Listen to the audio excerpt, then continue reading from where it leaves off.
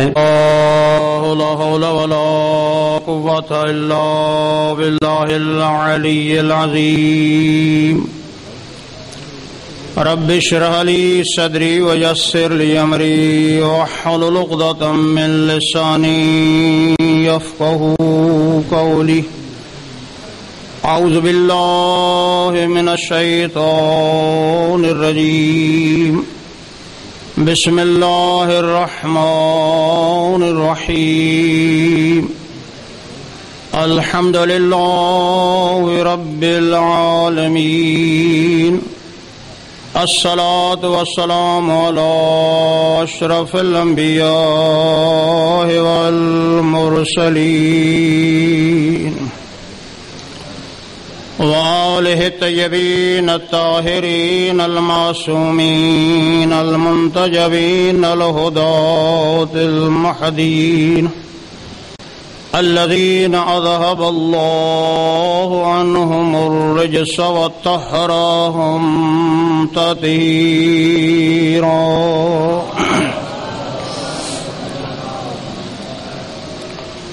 ورحمة الله على مواليهم ومحبيهم وشيتهم أجمعين ولعنة الله على آدائهم من يوم عداوتهم إلى قيام يوم الدين أما بعد فقد قال الحسين عليه الصلاة والسلام إن الحسين يشهد أن لا إله إلا الله وحده لا شريك له وأن محمدا عبده ورسوله جاء بالحق عند ربه والنار حق والجنة حق وأن الساعة آتية لا ريب فيه وإن الله يبعث من في القبور إني لم أخرج أشرا ولا بطرة ولا مفسدا ولا ظالمة بل إنما خرجت لطلب إصلاح في أمة جديه أريد أن أمر بالمعروف وأنهى عن المنكر وأسير بسيرة جدي وعبي علي بن أبي طالب. صلى الله عليه وسلم. وما توفيق إلا بالله عليه توكلت عليه أنيب. صلوات.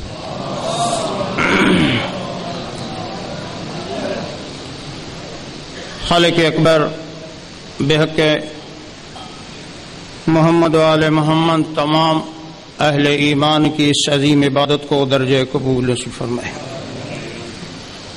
ہمارے دلوں کو اپنی معرفت اور اپنے سچے اولیاء کی معرفت کے نور سے منور فرمائے۔ زندگی کے جو سانس باقی رہ گئے فرائض، واجبات، حقوق ادا کرنے کی توفیق نصیب فرمائے۔ اس مرکز علم و تقوی کو تا ظہور امام زمان کا مدعم فرمائے۔ معامنین مرکز کی توفیقات خیر میں اضافہ فرمائے۔ اور ہمیں راہ حسینیت پر ثابت قدم فرمائے۔ چونکہ بابرکت مہینہ محرم الحرام بالکل قریب ہے اور ہمارے سامنے ہے اور ہر ازادار اس ماہ مبارک کا استقبال کرنے کے لیے تیار ہے اور تیار ہونا بھی چاہیے۔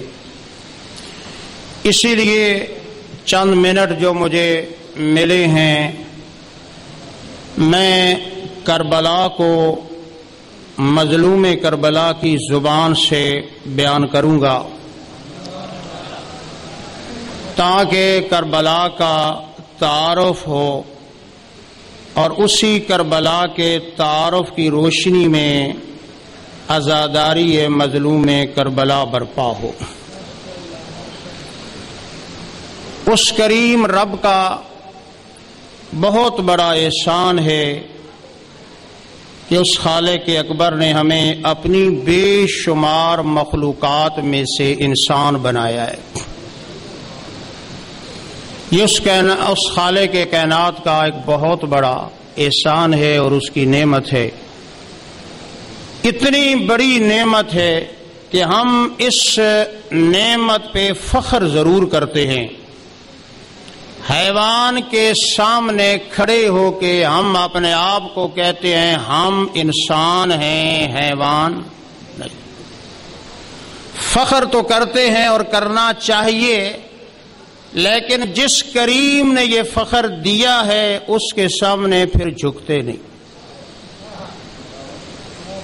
فخر کرتے ہیں کہ اس رب کائنات نے ہمیں تاج انسانیت پہنایا، ملائکہ سے افسل بنایا، لیکن جس نے بنایا پھر اسی کو بھول جاتے۔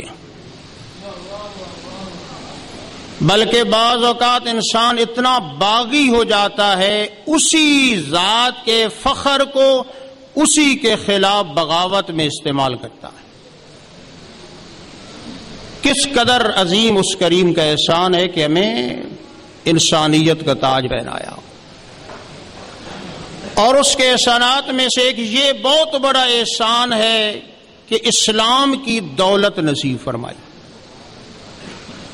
آج اگر ہر مرد مومن کی پیشانی اس وحد اولا شریک کے سامنے جھکتی ہے، غیر کے سامنے نہیں جھکتی، یہ اسلام کی برکت ہے۔ یہ اسلام کی برکت ہے۔ کس قدر عظیم قربانیاں ہیں آمنا کے لال کی۔ بڑی زامتوں سے یہ اسلام کا فخر ہم تک پہنچا ہے۔ ذرا نگاہ دوڑائیں کہ مکہ و مدینہ کے سہاراؤں میں اور پہاڑوں میں آمنا کے لال نے کتنے پتھر کھائے۔ شکنجے برداشت کیے، بھوک برداشت کی۔ طائف کی دیواریں گواہ ہیں کہ جب آمنا کا لال تبلیغ کے لیے گیا اور یہی تبلیغ کی کیوں جھکتے ہو ان بتوں کے سامنے جو بے جان ہیں؟ اگر جھکنا ہی ہے تو اس کے سامنے جھک جس نے تمہیں بھی خل کیا ہے، ان کو بھی خل کیا ہے۔ اس تبلیغ کے جرم میں آمنا کے لال کو اتنے پتھر مارے گئے، اتنے پتھر مارے کہ طائف کی جس دیوار کے ساتھ یہ آمنا کا لال ٹیک لگاتا تھا، خون سے رنگین جاتا بڑی مشکل سے یہ اسلام کا فخر ہم تک پہنچا ہے۔ یہ اسلام کی سنہری تعلیم آج ہمارے گھروں کے اندر جو موجود ہے، آج قرآن کی تلاوتیں ہو رہی ہیں، قرآن کی برکتیں ہیں۔ آج سجدے ہیں، دعا ہے، رکوع ہے۔ یہ ساری برکتیں آمنا کے لال کی قربانیوں کا نتیجہ۔ اور بہت بڑا اس کریم کا احسان ہے کہ ہمیں مکتب اہل بیت سے وابستہ کیا۔ معصومین بھی حمد بجا لاتے ہیں۔ ہمیں بھی حمد بجا لانا چاہیے۔ امام نے تاکید فرمائی کہ دعا مانگا کرو۔ حمد ہے اس کریم کی کہ جس نے ہمیں امت رسول اور شیع علی ابن ابی طالب میں سے قرار دیا ہے۔ بہت بڑا اس کریم کے احسان ہے۔ اور یہ مکتب حسین جو ہمیں نصیب ہوا ہے، مجلس حسین کی صورت میں، یہ مجلس حسین دراصل ایک مکتب ہے۔ ایک درسگاہ ہے۔ انسان کی تربیت کی بہترین تعلیم گاہ اور درسگاہ کا نام ہے مجلس حسین۔ اور یہ کس کریم نے عطا کی ہے؟ یہ مجلس حسین کی نعمت کس کی چوکھٹ سے نصیب ہوئی ہے؟ کس کے دروازے سے نصیب ہوئی ہے؟ یہ مجلس حسین کی عظیم دستگاہ، عظیم تربیت گاہ نصیب ہوئی ہے ذات احدیت کی چوکھٹ سے۔ یہ صرف ایک واقعہ نہیں ہے جس کو دہرایا جاتا ہے۔ کربلا تاریخی واقعے کا نام نہیں ہے۔ کہ ہر سال ہم کسی کی زبان سے سنیں اور پھر بھول جائیں۔ تھوڑی دیر کے بعد پھر سنیں اور پھر بھول جائیں۔ نہیں، کربلا تاریخی ایک واقع کا نام نہیں ہے۔ کربلا پورے دین کا نام ہے۔ کربلا اسلام کا نام ہے۔ کربلا نبوت کے تسلسل کا نام ہے۔ کربلا رسالت کے تسلسل کا نام ہے۔ کربلا وہی اور قرآن کا نام ہے۔ ایک تاریخی واقعہ نہیں ہے۔ بہت بڑی دنیا کے اندر درسگاہ انسانوں کو جو اللہ نے نصیب کی ہے، سب سے بڑی درسگاہ کا نام ہے مکتب حسین، مجلس حسین۔ درسگاہیں تو بہت ہیں، شمار نہیں کی جا سکتی، ہر ملک کے اندر ہیں۔ جس جگہ بھی آپ جائیں، بڑی تعلیم گاہیں درس گاہیں یونیورسٹیاں، کالج، دیگر ادارے آپ کو ملیں گے۔ لیکن انسانیت کو انسانیت کو انسانی اصول سکھانے والی درسگاہ صرف مجلس حسین ہے آپ جس یونیورسٹی میں بھی چلے جائیں، آپ کو ہنر مل سکتا ہے، فن مل سکتا ہے، دنیا کے کمالات سیکھ سکتے ہیں۔ لیکن حیا و شرم کا درس ملے گا تو مجلس حسین کے سامنے۔ عبادت و بندگی کا درس ملے گا تو مجلس حسین کے سامنے۔ والدین کے احترام، بڑوں کا احترام، ان کے حقوق کا درس ملے گا تو مجلس حسین کے سامنے۔ اگر تمام انسانی معاشرے کو ان خطوط پہ جس خطوط پہ چل کے یہ انسانی معاشرہ ملیکہ سے افسل ہو جاتا ہے، وہ تمام سنہری اصول صرف مجلس حسین کے ذریعے سے مل سکتے ہیں۔ یہ مکتب حسین، یہ مجلس حسین درسگاہ ہے۔ ایسی اوپن درسگاہ ہے، اوپن یونیورسٹی ہے۔ نہ وقت معین ہے، نہ وقت محدود ہے، نہ عمر کی قید ہے۔ یہاں خواتین کو بھی اعلی انسانی اور فریض کے درس دیے جاتے ہیں۔ بزرگوں اور بوڑھوں کو بھی یہاں اپنی زندگی کو کامیاب گزارنے کے اصول دیے جاتے ہیں اور جوانوں کو بھی عظیم جوانی گزارنے کے درس دیے جاتے ہیں۔ اور یہ حسینی درسگاہ، یہ حسینی مکتب سن ساٹھ ہجری سے شروع نہیں ہوا۔ یہ الہی درسگاہ کا آغاز سن ساٹھ ہجری سے نہیں، بلکہ سرزمین مکہ سے اس کا آغاز ہوا۔ جب آمنا کے لال نے پہلا پیغام دیا مکہ کی سرزمین پہ کھڑے ہو کر، وہیں سے کربلا کا آغاز بھی ہوا۔ مکتب حسین کا بھی آغاز ہوا، حسینیت کا بھی آغاز ہوا، مجلس حسین کا بھی آغاز ہوا۔ پہلا پیغام جب آمنا کے لال نے سرزمین مکہ پہ مکیوں کو دیا، اسی وقت سے اس کا آغاز ہوا۔ اس کا مطلب یہ ہے کہ مکتب حسین کے بانی خود رب کائنات ہے۔ اس کا بانی خود رب کائنات ہے۔ اور پہلا معلم پہلا معلم محمد مصطفیٰ ہے۔ اور دوسرا معلم علی ابن ابی طالب ہے۔ اور اس مکتب الہیہ میں خواتین کو عظیم انسانی اصول اور فرائض بتانے کے لیے جو معلمہ، اس کا نام سیدہ زہرا ہے۔ اور اسی مکتب کے بڑے بڑے نتیجے نکلے۔ مکتب حسین اور آزاداری کی اگر اہمیت کو سمجھنا ہے، اس مجلس حسین کی عظمت کو سمجھنا ہے، تو پہلے ہمیں اس مکتب مصطفیٰ کو سمجھنا ہوگا، مکتب مرتضی کو سمجھنا ہوگا، مکتب زہرا کو سمجھنا ہوگا۔ اس مکتب کا نتیجہ کیا نکلا؟ ایسا نتیجہ آج مکتب حسین اور مجلس حسین کو ہونا چاہیے۔ جب یہ مکتب قائم ہوا، جس مکتب کے استاد محمد مصطفیٰ ہوں، جس درسگاہ کے استاد علی ابن ابی طالب جیسی ہستی ہو، خواتین کو درس دینے کی عالمہ معلمہ سیدہ زہرا ہو، اور اس مکتب کا نصاب تعلیم قرآن ہو، تو پھر اس کا نتیجہ کیا نکلے گا؟ اس مکتب کے کچھ نتیجے معصوم نکلے، بہت سارے غیر معصوم بھی ہمارے سامنے نتیجے ہیں۔ پہلا نتیجہ جو معصوم کی شکل میں نکلا، اسی گود مصطفیٰ میں، گود مرتدا میں، گود زہرا میں، اور اس وئی کی گود میں پہلی ہستیاں جو پروان چڑھی، ان کا نام حسنین شریفین ہے۔ دنیا کو بتاؤ ہمارا فرض ہے، ہمارا فرض ہے، بتاؤ دنیا کو، پوچھو۔ اس مکتب کا نام بتاؤ جس میں حسن مجتبہ پڑھتے رہے۔ اس مکتب یونیورسٹی کا نام بتاؤ جس میں حسین ابن علی پڑھتے رہے۔ اس مکتب کا نام بتاؤ جس میں زینب کبرا پڑھتی رہی۔ جس میں اب کلسوم پڑھتی رہی۔ دنیا سے پوچھو وہ کون سا مکتب ہے؟ وہ کون سی تعلیم ہے؟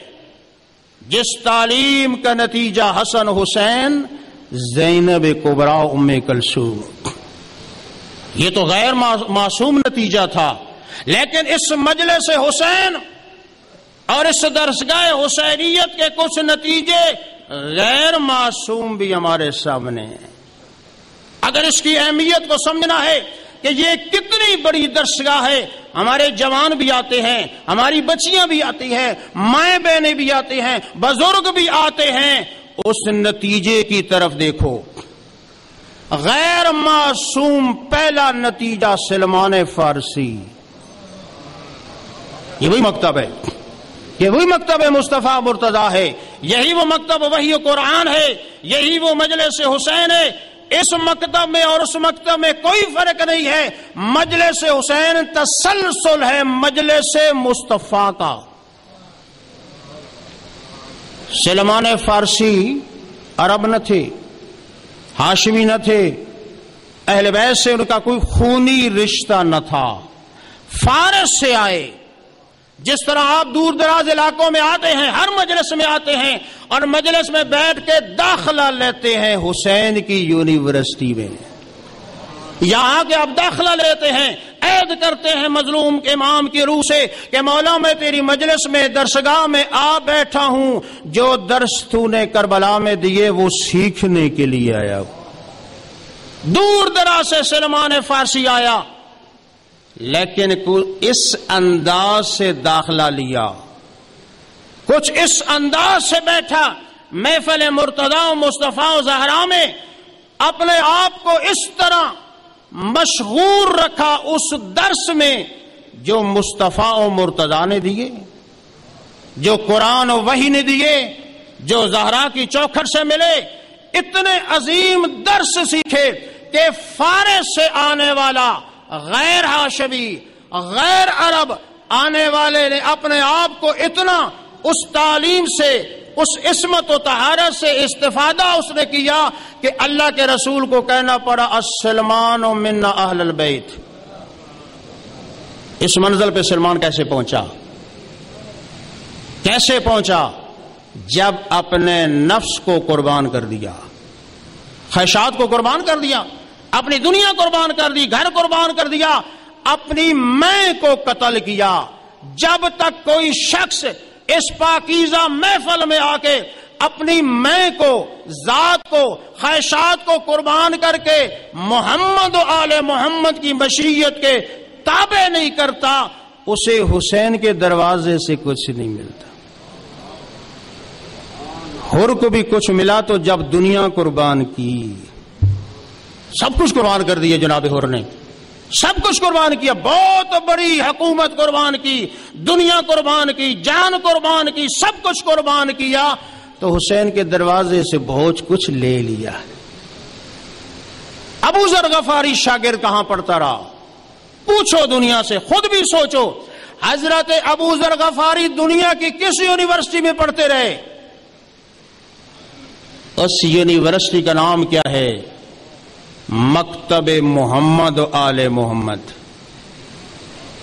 ہمیں بھی تو کسی کو تیس سال ہو گئے پڑھتے ہوئے۔ کسی کو پچاس سال ہو گئے پڑھتے ہوئے۔ صبح شام اس مکتب حسین میں ہم آتے ہیں، بیٹھتے ہیں، سنتے ہیں، جاتے ہیں۔ اسی مکتب میں تو ابو ذرغفاری آیا تھا۔ اسی یونیورسٹی اور مجلس میں تو ابو ذرغفاری آیا تھا۔ لیکن اتنا اپنے آپ کو تابع بنایا، اتنا سیکھا، اتنا عمل کیا کہ آمنا کے لال کو اعلان کرنا پڑا۔ اس نیل گو آسمان نے آج تک کسی پہ سایہ نہیں کیا، اس زمین نے اپنے اوپر کسی کو اٹھایا نہیں جو ابو ذرغفاری سے زیادہ سچا۔ یہ سچائی کی سند کہاں سے ملی ابو ذرغفاری کو؟ اس نبی کے دروازے سے جو خود بھی صادق تھا، جو خود بھی امین تھا۔ مکے والے نبی نہیں مانتے تھے، رسول نہیں مانتے تھے، لیکن اعلان کرتے تھے، اگر عرب کی سرزمین پر ہم مشرقین اور کافروں کی امانتوں کی حفاظت کر سکتا ہے تو وہ محمد ہے۔ اگر کوئی معاہدے کی پاسداری کر سکتا ہے، سچ کہہ سکتا ہے، اس کا نام بھی محمد ہے۔ اس سچے نبی کے دروازے پہ جب ابو ذر غفاری صحیح جھکا، تو صداقت و سچائی کی سند۔ آج ہمیں بھی آقا حسین یہ سندیں دے۔ ہم بھی اپنی زندگی کو، خاندانی زندگی کو عبادت والی زندگی کو، گھریلو زندگی کو، تجارت کی زندگی کو، کاروبار کی زندگی کو، پوری زندگی کو تابع کریں حسینیت کے امام ہمیں بھی ایسے لقب دے گا۔ بڑی عظیم مکتب، عظیم یونیورسٹی آپ کو نصیب ہوئی ہے۔ اور پھر آگے آپ کے پاس کتنے خوبصورت نتیجے آئے۔ شہید اول آپ کو کہاں سے ملا؟ شہید ثانی جیسی ہستی آپ کو کہاں سے ملی؟ شہید سالس جیسی ہستی کہاں سے ملی؟ یہ عظیم ہستیاں آپ کو کہاں سے ملی؟ شیخ مفید جیسی ہستیاں کہاں سے ملی؟ سید مرتدہ علام الہدا جیسی ہستیاں کہاں سے ملی؟ علامہ سید رضی شریف جن کے مرتب شدہ ناجل و بلاغا کے خطبات آپ کے پاس موجود ہیں، یہ ہستی کس درسگاہ سے آپ کو ملی؟ اس درسگاہ نام ہے مجلس حسین۔ اس درسگاہ کا نام ہے محمد آل محمد، جس میں ہم بھی زندگی بھر آتے ہیں، داخلہ لیتے ہیں، سنتے ہیں۔ اسی سے۔ اور پھر یہ اس دور کی عظیم ہستی حضرت امام خمینی آپ کو کہاں سے ملی ہے؟ کیا یورپ کی یونیورسٹی سے؟ کیا امریکہ و فراس کی یونیورسٹیوں سے حضرت امام خمینی اگر آپ کو ملا ہے تو ازاداری سید الشہداء. جب انقلاب کامیاب ہوا، خود فرمایا، بہت بڑا انقلاب دنیا میں کامیاب ہوا۔ مولا کائنات کی خلافت اور حکومت کے بعد یہ پہلا دور ہے کہ دنیا میں اہل بیت کی حکومت قائم ہوئی، لیکن پھر بھی فرماتے ہیں دنیا والوں سنو ما ہر چاریم از ازاداری۔ یہ سب کو جزاداری کا نتیجہ ہے۔ آج یہ نعمت ہمارے پاس موجود ہے اس نعمت کی حفاظت کرنا ہمارا فرض ہے۔ آج اپنی اولاد کو لاؤ۔ ہماری اولاد کے سامنے کربلا کے نوجوانوں کے نمونے موجود ہیں۔ بابا زب السلوات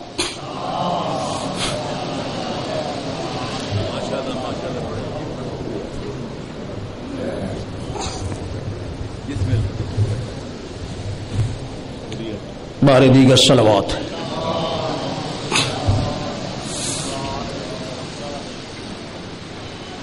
ہمارے نوجوانوں کے لیے کربلا کے نوجوان نمونہ ہے۔ جس شیعہ نوجوان کے پاس حضرت عباس جیسا نمونہ، حضرت علی اکبر جیسا نمونہ، جناب قاسم جیسے نمونے، ایسے نمونے جن نوجوانوں کے پاس ہوں، ان نوجوانوں کو دنیا کے سامنے اپنی جوانی کیسے گزارنی چاہیے؟ مقصد مظلوم کربلا اور مقصد مجلس سے مظلوم کربلا ایک خطبے کی شکل میں بیان کر کے ختم کرتا ہوں۔ اور ہمیں چاہیے کہ اس سٹیج پہ ہم وہ مجلسیں ضرور پڑھیں جو زہرا کا لال خود پڑھتا رہا۔ ولید کے دربار سے لے کر عصر آشور کی شہادت تک۔ زارا کے لال نے اپنی مجلسیں خود پڑھی ہیں۔ کئی سو مجلسیں پڑھی ہیں۔ وہ موجود ہیں۔ اردو میں ترجمہ ہو چکا ہے، جن کا نام ہے خطبات امام حسین۔ ان کو پڑھنا چاہیے۔ اس لیے کہ کربلا کی قربانیوں کا جو مقصد زارا کا لال آپ بیان کر سکتا ہے، ہم نہیں بیان کر سکتے۔ ان عظیم قربانیوں کا جن کا ہم تصور بھی نہیں کر سکتے، اور ان میں سے ایک مختصر سا خطبہ یا پیغام یا مقصد جو مظلوم کربلا کی زبان سے خود نکلا ہے۔ تاکہ پتہ چلے کہ اس سٹیج پہ کون سے درس دینے چاہیے اور کون سے نہیں دینے چاہیے؟ زہرا کے لال نے اپنا ایک وسیعت نامہ لکھا، اپنے شفیق بھائی محمد حنفیہ کے نام۔ پورا کربلا کا نقشہ، کربلا کی قربانیوں کا، قیامت تک اپنی ازاداری اپنی ماتمداری اپنی مجالس حتیٰ کہ کوئی گھر میں نیاز پکاتا ہے، جو کچھ بھی حسین کے نام پر کیا جاتا ہے، اس کا مقصد زارا کلال خود بتا گیا ہے۔ ہمیں سوچنے اور گھڑنے کی ضرورت۔ لکھتے ہیں، سنیے توجہ سے، کس طرح زارا کلال پہلے تو اس کریم کی توحید کا قصیدہ پڑتا ہے۔ پھر پاک نبی کی نبوت اور رسالت کا قصیدہ پڑتا ہے۔ کس طرح ان عقائد کا تعارف کراتا ہے؟ امام فرماتے ان الحسین یشہد اللہ الہ الا اللہ وحدہ لا شریک زارا گلال، حسین گواہی دیتا ہے، اس بھری ہوئی کائنات میں اللہ کے سوا کوئی معبود نہیں۔ زارا کلال گواہی دیتا ہے یشد گواہی دیتا ہے زارا کلال کہ اس کائنات میں، اس ارض و سما میں اس اللہ کے سوا کوئی لے کے سجدہ نہیں۔ وہ وحدہ لا شریک ہے ہر لحاظ سے۔ اس کا کسی لحاظ سے بھی کوئی شریک کون فرما رہا ہے؟ زہرا کا لال۔ اب زہرا کے لال کے مقابلے میں اگر کوئی آواز اٹھے زہرا کے لال کی گواہی کے مقابلے میں اگر گواہی اٹھے، تو پھر ہمارا فریضہ کیا ہے؟ فرماتے، میں حسین گواہی دیتا ہوں، اللہ کے علاوہ کوئی لے کے عبادت نہیں، کوئی معبود نہیں، کوئی رب نہیں، کوئی خالق نہیں۔ واحد ہے۔ ان محمد ابد و رسول حسین گواہی دیتا ہے محمد اللہ کا عظیم عبد ہے۔ اعلان کیا زہرا کے لال نے کہ اس بھری ہوئی کائنات میں میرے نانا جیسا کوئی عبد خدا نہیں۔ جس بندگی کی منزل پہ سید الانبیاء فیض ہے کوئی فیض نہیں۔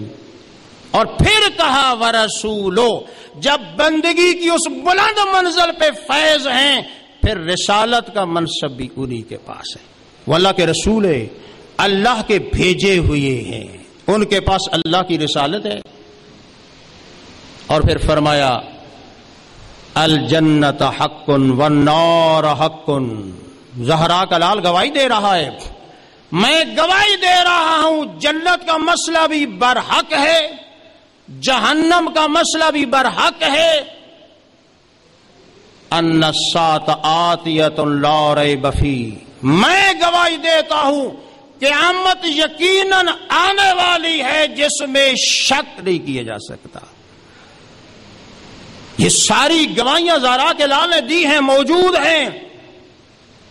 ایک ازادار ایک حسینی، ایک محب حسین کا فریضہ بنتا ہے۔